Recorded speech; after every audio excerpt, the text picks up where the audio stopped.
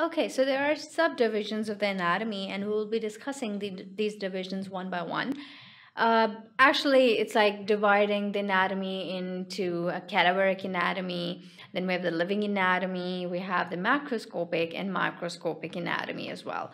So the cadaveric anatomy is actually the anatomy in which we study in cadavers, like the dead bodies. It's like about dissecting their organs and studying each and every detail, the bones, the muscle attachment, their origins, their insertions, and the basic um, the basic relationships of uh, the important structures. So mainly the cadaveric anatomy is like dealing or trying to study study the anatomy on cadavers or the dead bodies.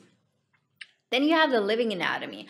Now, how do you study the living anatomy? It's like you have a patient and then you have to apply your clinical and your basic knowledge of the anatomy on a patient who is living and then you have to do particular uh, inspection palpation auscultation um, and percussion as well to study about the living anatomy. Now you could be studying uh, the living anatomy by inspecting a patient or using some kind of specific instrument to study about the living anatomy then you have the developmental anatomy.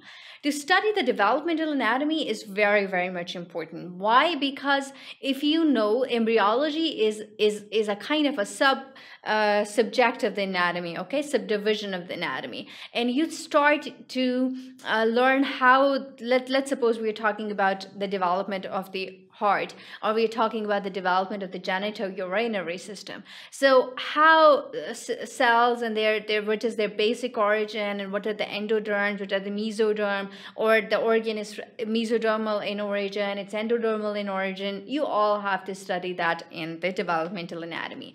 Why developmental anatomy is important? Because if there are if you know the normal developmental anatomy then you can actually find out what the pathology is going on.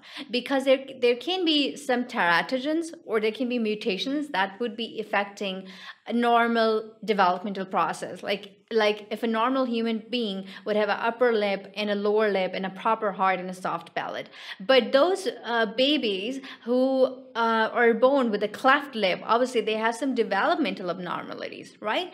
And those like um, the, the the babies who are uh, with the trisomy with the down syndrome like the turner syndrome they have uh, the mutations at the genetic levels or they have some kind of developmental abnormalities right? So that's why it is important to know the normal developmental process which, in, which is taking place in a human body. If there is a deviation or some kind of developmental abnormalities, then obviously the organ uh, would be malfunction or the baby would be malfunction. So that's important to know how you are uh, dealing with the developmental anatomy. Now you have the macroscopic anatomy and a microscopic anatomy. So the macroscopic anatomy is like that is visible to your eyes right? Your naked eyes right? You can see the hands you can see the eyes you can see the sclera you can see conjunctiva you can see the bridge of the nose the lips the teeth the cleft palate. The overall uh, externally you can see the scan your hands and then your arms your shoulders. So this is a macroscopic anatomy which is quite visible to you. And if you open up the body for example the chest is being opened you can see the lungs with your naked eye. You can see the abdomen with your naked eyes the organs the liver spleen. So these are this is the macroscopic anatomy. Now the microscopic anatomy is is very important, like the histopathological study, in which you have to see the normal cytology. If, if the cells are, uh, you know, of the normal size and shape, there's there's no, they're not hypertrophic or they're not atrophic or they're not, there is no hyperplasia, they are exactly behaving normally. Then study of the epitheliums, like the respiratory system has ciliated columnar epithelium, right? So if there would be metaplasia, uh, that means that epithelium would be replaced by some other epithelium. So that would be a pathological process, right? So in order to find out the pathological process, it's important you know the microscopic anatomy. Like you should know what, how the cells of specific organs would behave, what would be their cytology, what would be their epithelium, and if there is uh, any metaplastic changes or if there is any cancerous changes in the cell, you can pick it up by histopathology. That is also the subdivision of the anatomy. Now you have the surface anatomy Okay, before studying every single organ, you study the surface anatomy. That means if you are externally like I'm, talking about my hands okay so this is the surface okay and i believe that I have a skin, then I have a superficial fascia, then I have some kind of a uh, muscles, and then you have the bony structure. Like the we have the metacarpal bones, we have the proximal, distal, interphalangeal joints, right? So how how would a surface anatomy like what about the surface anatomy? So that means that this is exactly like when you say when you're talking about a hand. So we say there is a proper uh, part which is called as anatomical snuff box. Okay, so this is the surface anatomy. It's it's between the two tendons so obviously this would be the surface anatomy. So similarly, if you're studying about the lungs, and we know that they are extending from the clavicle apex is just above above the clavicle and then they're down extending to the costal margin. So that is a surface anatomy. So how would you mark that particular organ on a skin that would be surface anatomy? Like let's suppose i'm studying about liver. So i should know what is a surface anatomy of a liver right? So it's actually second uh, second rib to eighth rib. This is the normal uh, span of the liver. So this is when I'm marking this second to eighth rib, that is the surface anatomy of a liver. Same goes for the spleen. Uh, so the, mainly it's uh, between the ninth and the 10th rib. So I know the surface anatomy of the spleen. So that's how surface anatomy is going to uh, help you locating different organs. Then you have radiographic and imaging anatomy. So radiology, to study the radiology, you should have a very grasp uh, concept uh, of the anatomy. And uh, radiology and imaging anatomy is all about because you're doing the x-rays you're doing the ct scan you're doing the uh, you know mr mrcps and you're doing the mri as well. So when you are dealing uh, with the radiological and imaging anatomy that's a subdivision of the anatomy so that's called as radiological anatomy. Now applied anatomy now, what do you mean by applied anatomy? Applied anatomy means that you know that uh, okay, you're you're doing some kind of laparotomy, or let's suppose you're doing some kind of surgery within the abdomen, and you know that uh, the anatomy which is clinically applicable is like you should know the location of the intestines. You should know where the transverse colon is. You should know uh, the, the different parts of the duodenum. You should know their regional anatomy. The first part of the duodenum is related to what? The second part of the duodenum is related to what? So important uh, the relationship with the portal vein or superior mesenteric arteries and veins. That is actually the clinical applied anatomy, right? Then uh, let's suppose I'm doing a, some kind of surgery on a thyroid. So my knowledge of anatomy would help me in the surgery. How? Because I know that the recurrent laryngeal nerve is in the groove between the trachea and esophagus, right? And obviously, it's somehow related to the recurrent laryngeal nerve is somehow related to the artery, uh, inferior thyroid artery, right?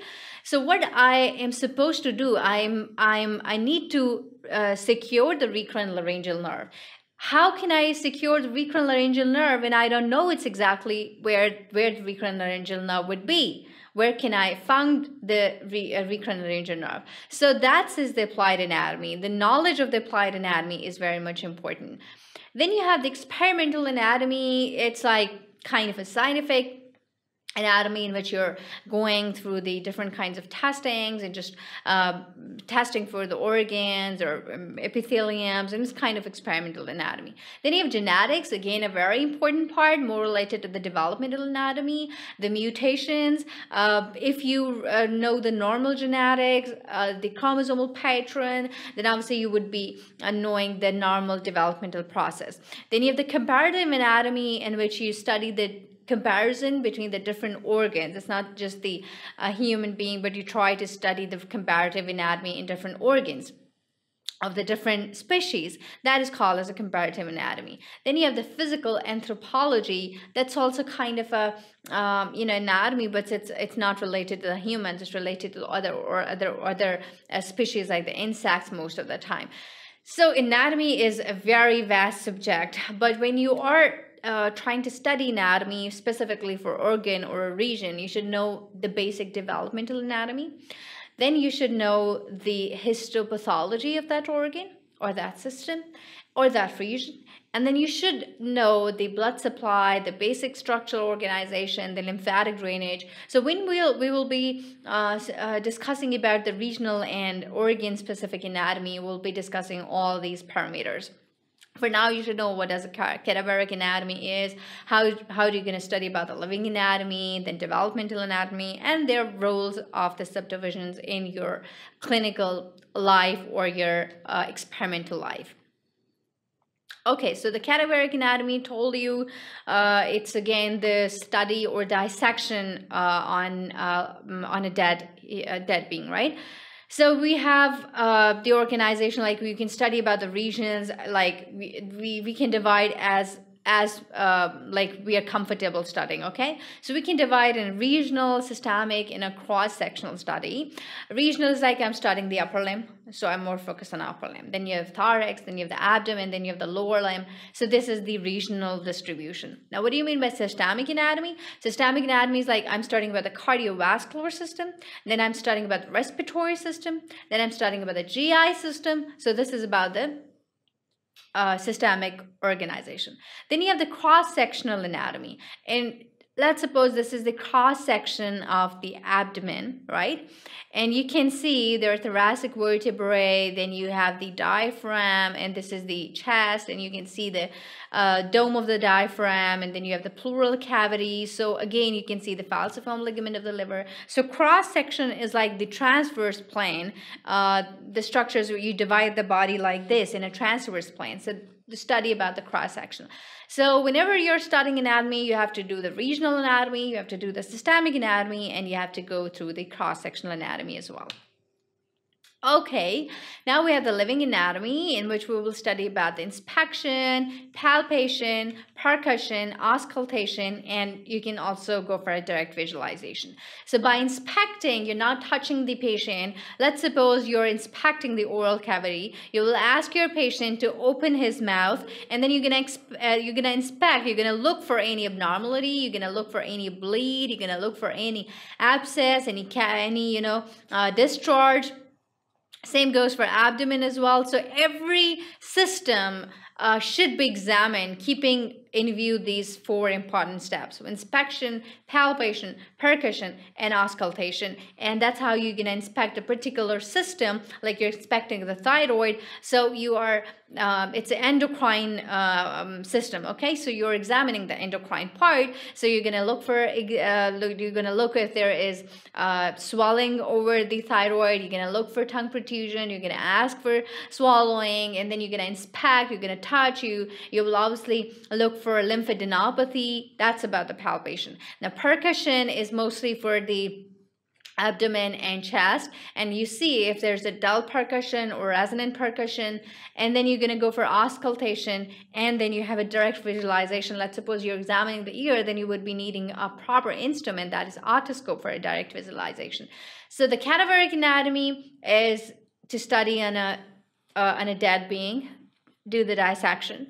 And to study about the living anatomy is like you know living being and you have to examine that particular system and you're going to look for signs symptoms of that particular disease to make a proper diagnosis. So these are the subdivisions of the anatomy and you should have a very uh, accurate knowledge of anatomy uh, so that if you're performing any surgery uh, you should know each and everything about the anatomy. You should know the developmental anatomy. You should know what changes can you expect in a body. So this is all about the anatomy.